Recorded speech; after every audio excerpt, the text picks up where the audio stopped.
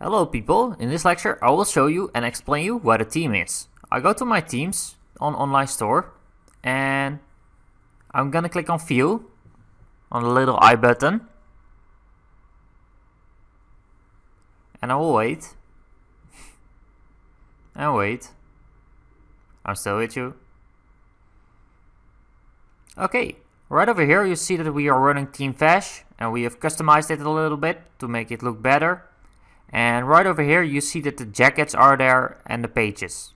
So when we go back and I will explore some free themes. A theme is a layout. So it's how the way your website looks. I'm going to choose theme simple and I'm going to add simple soon. So you see that all the content stays the same, the jackets and the pages, but layout is only changing if you change your team. So that's actually a team. So I hope you understand it. And yeah. And now I will wait. And I'm gonna activate Team simple. And you can click on action. And then publish. Right over there on the blue button. Click again on the blue button. I will publish and wait.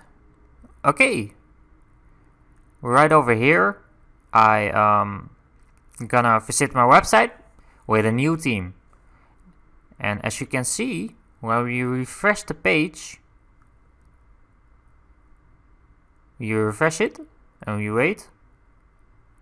And then it's still there. All the jackets are there the pages are there. That's great. So it's actually changing only the layout so you've learned something new I hope so or you already knew it then you're good and I go to my dashboard and I'm going to click on explore free teams.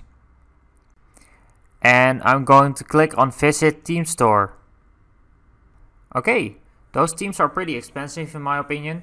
I'm gonna put a link in the in the resources to a cheaper site to ThemeForest and there you can uh, buy cheaper teams for like $80 here is it like $180 that's too much for a team in my opinion but if, but if you run a big business it's not much but for a smaller business if you just want to start or something else yeah, then it's too much in my opinion.